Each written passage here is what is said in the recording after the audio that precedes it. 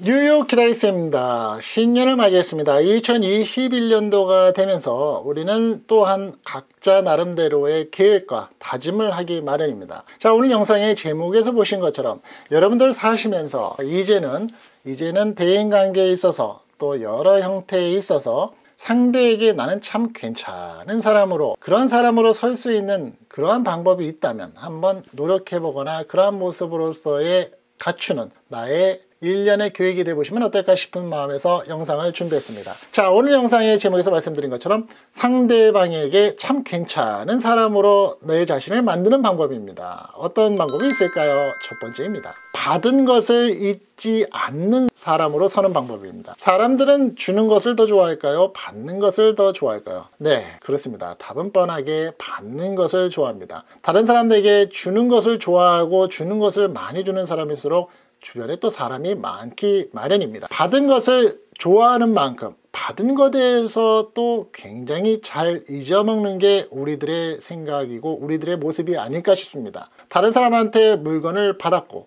다른 사람한테 감사한 마음을 받았고 다른 사람으로부터 사랑을 받았다면 대부분의 사람들은 준 것만 기억을 합니다. 돈을 빌려줬을 때에도 내가 돈을 빌려준 것만 기억을 하고 내가 남한테 베풀었을 때에도 베푼 것만 기억하는 게 대부분입니다. 보통 사람들과 다를 바가 없겠죠.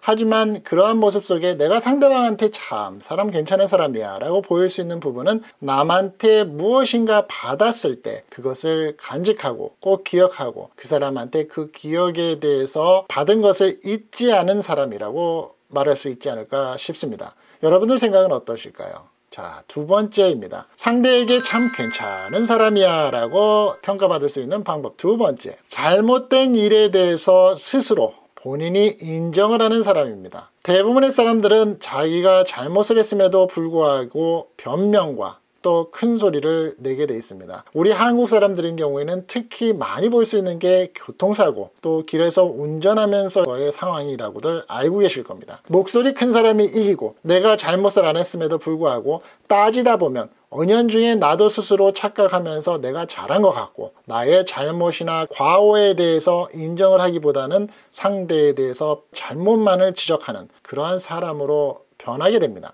부부관계에 있어서도 상대에 대해서 반려자에 대해서 좋은 얘기보다는 칭찬보다는 잘못되고 그러니까 그러려니 또 그러니까 어쩔 수 없어 그러니까는 그렇지 라고 생각하면서 살기 마련입니다. 내 스스로가 내 잘못을 인정하고 나의 과오를 가지고 미안합니다. 죄송합니다. 잘못했습니다. 라고 말을 하는 경우는 참 없습니다. 용기가 없어서인지 아니면 자존심이 세서일지는 모르겠습니다. 하지만 살면서 내 스스로가 미안합니다. 감사합니다. 내가 잘못했습니다. 다음부터는 반성을 하겠습니다. 이런 말을 하게 되면 어떨까요? 여러분들이 자식을 키우시면서 자식을 혼내고 있는데 뻗땡기는 자식이 더 이쁘신가요? 스스로 엄마, 아빠, 내가 잘못했습니다. 다음부터는 조심하겠습니다. 라고 얘기하는 그 자식이 더 사랑스럽습니까? 물론 결론에 가서는 둘 다 사랑스러운 자식이겠지만 매를 맞으면서도 뻗땡기고 뻗땡기고 자존심을 가지고 있는 모습이 꼭 예전에 어릴 때 내 모습 같은 모습을 보이고 있지만 끝까지 자신의 잘못을 인정하지 않는 자식을 보면 이제는 부모와 자식 관계가 아니라 사람 관계만큼이나 짜증이 나고 미울 때가 있습니다. 사람 사는 관계에서도 마찬가지입니다. 상대방에게 참 괜찮은 사람이야 라고 인정받는 건 직장 생활에 있어서도 내 잘못을 스스로 인정하고 다음부터는 조심하겠다라는 나의 스스로를 본인이 인정하는 사람 그런 사람인 경우는 주변으로부터 상당히 사람도 많고 참 괜찮은 사람이야 라는 얘기를 듣지 않을까 싶습니다. 자 다음으로는 세 번째입니다. 상대방이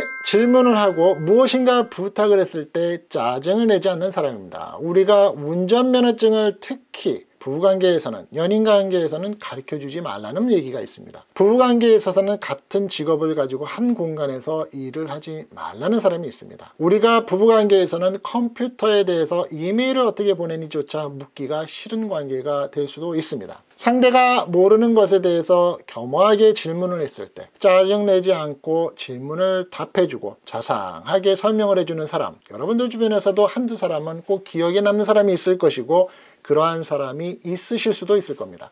사시면서 상대방이 무엇인가의 SOS 어려움을 처해서 부탁을 했을 때 궁금해서 질문을 했을 때 설사 그 사람이 무식하게 보이더라도 그 사람한테 짜증내지 않고 배려 있게 답변을 해주고 질문에 대해서 최선을 다해주는 사람 우리가 식당에 가서 레스토랑에 가서 음식을 주문할 때 무엇인가 주문하면서도 굉장히 망설이고 시간을 많이 들이면서 웨이터 웨이트레스를 그 자리에 서서 기다리게 하면서도 어떤 질문을 해서 이것이 좋을까요? 오늘 셰프 special이 무엇인가요? 오늘의 베스트 음식, 추천 음식이 무엇인가요? 라고 물었을 때 따뜻하게 아주 찬찬하게 다정하게 질문에 대한 답을 해주는 웨이터와 웨이트레스에는 조금 더 팁과 그 후한 미소를 주고 싶습니다. 마찬가지입니다. 우리가 대인관계를 살아나가는 데 있어서 누군가가 질문했을 때 짜증을 내지 않고 답을 줄 수 있다면 그 사람은 다른 사람으로부터 평가를 받을 때 참 괜찮은 사람이야 라고 평가를 받지 않을까요? 자,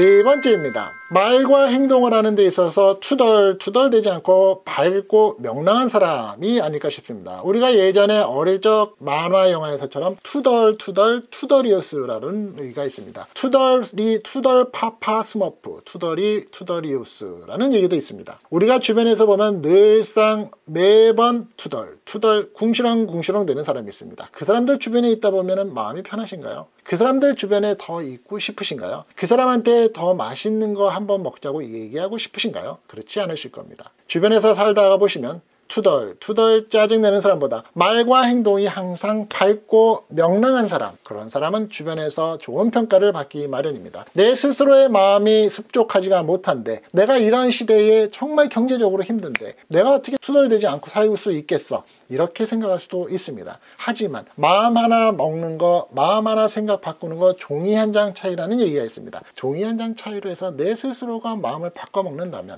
우리가 살면서 모든 것은 마음 먹기 달렸다는 얘기를 들을 때가 있습니다. 그렇지 않을까요? 말과 행동이 항상 밝은 사람, 그 사람을 보면 나 스스로도 항상 마음이 밝아지는 것을 느끼는 사람, 그 사람만 보면은 왠지 즐겁고 기분이 좋은 사람, 그 사람만 보면 어떻게 하루가 간지 모르겠는 사람 자 주변에 있으실 겁니다 그 사람의 모습 내 모습으로 만들어 보면 어떨까요? 오늘 영상에서 말씀드린 상대에게 참 괜찮은 사람이야 라고 평가를 받을 수 있는 사람들의 네 가지 부류의 모습 여러분들 생각은 어떠신가요? 어려운 일이실까요? 아니면 네 가지를 다 가지고 계시는 여러분들이 있을까요? 그렇다면 여러분들은 분명히 괜찮은 사람이실 거라고 생각을 합니다. 그렇지 못한 분들은 하나, 두 개 채워서 괜찮은 사람이야 라고 평가받을 수 있는 우리의 중년 이후의 이민생활, 중년 이후의 우리의 모습이 되면 어떨까 싶습니다. 자, 오늘 영상도 뉴욕 키다리쌤과 함께 해주신 여러분들 대단히 감사드리면서요. 다음 영상에서 또 다른 모습으로 뵙도록 하겠습니다. 구독 안 하신 분들, 좋아요 버튼 잊지 마시고요. 감사합니다.